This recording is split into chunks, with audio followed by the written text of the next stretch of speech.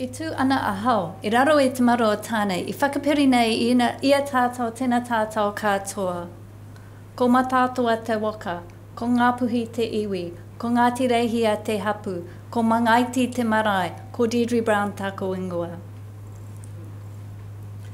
Built, lost, recovered or reimagined, Māori architecture defines the settlement of Aotearoa and the enduring connections that Māori have to our whenua.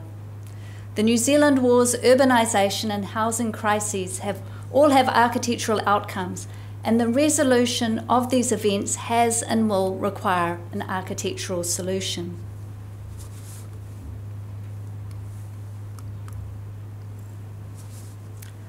Along with access to fresh water and food, shelter is a fundamental requirement for all human life.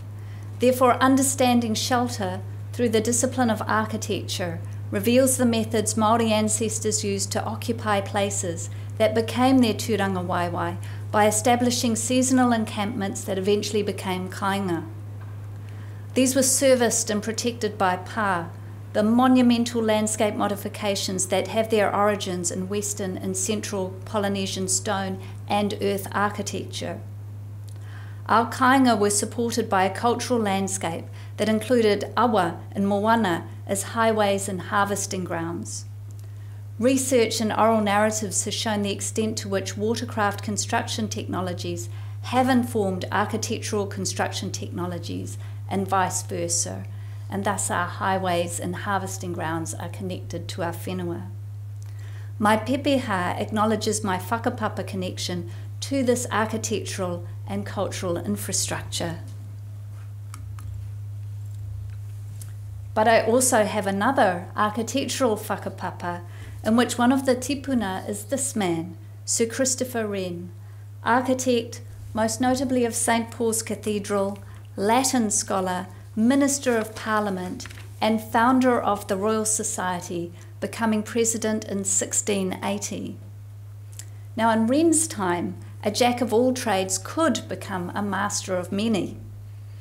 His architectural practice was founded on scientific observation and measuring the natural and built worlds as creatively manifested through invention and building. As an architecturally trained Māori art and architectural historian who currently leads the largest school of architecture and planning in the country, I work across disciplines to assist iwi and hapu in their aspirations and educate the next generation of architects. The concepts of whakapapa, rangatiratanga, tikanga, and whenua pervade all aspects of Māori art and architecture. And I've discovered this through, and I must thank the Royal Society very much, uh, through a Marsden grant that has allowed us to work with a number of communities in looking at the history of Māori art and architecture, which we will publish this year. It is coming. So, my research is concerned about how art and architectural practice respond when whakapapa, rangatiratanga, tikanga, and whenua are under threat. The devastation of the New Zealand wars is architecturally evident in the fight to defend kainga from occupation, the confisca- confiscation and destruction of whare by colonial forces, and the rise of new and diverse Māori architectural responses that sought to keep us on our whenua. Recording this diversity through a whakapapa approach to architectural history was the objective of my early academic work, which investigated the inheritance of technologies and formalisms between the Kingitanga, Pai Mārire, Ringatu, and Ratana movements and the settlements of Parihaka and Maungapōhatu. The materials and styles might have changed, but the tikanga and kaupapa remained the same, a lesson that we need to keep taking forward to create culturally responsive and responsible architecture. From this research emerged the story of Sir Apirana Ngata as an architectural revivalist, ethnologist, Latin scholar, and Member of Parliament. What Christopher Wren was to Pākehā society, Sir Apirana Ngata was to Māori society. Ngata had little time to publish. and the record of most of his architectural contribution can be found in his Native Affairs correspondence down the road in Archives New Zealand. And I spent many, many months working through their archives as a student. It was, it was truly wonderful time. Ngata believed that the 19th century Wharenui and Marae united Māori culture and that they could do so again in the 20th century through the School of Māori Arts and Crafts that he founded in 1926. The architectural renaissance he inspired revived whare whakairo or decorated wharenui construction and catalysed marae development. Merata Kawharu rightfully talks of the 21st century marae as being the last bastions of tikanga and te reo, as all other Māori built infrastructure around them, including the kainga, has been progressively lost through land alienation in its various forms. And I would like to acknowledge the work of another Te Aparangi Fellow who was appointed today, Michelle Fawcett Thompson, who works in planning in this area. Just as we can measure where Māori society is thriving in our architecture, I and other scholars have identified where whenua is under threat through identifying what we term endangered architecture.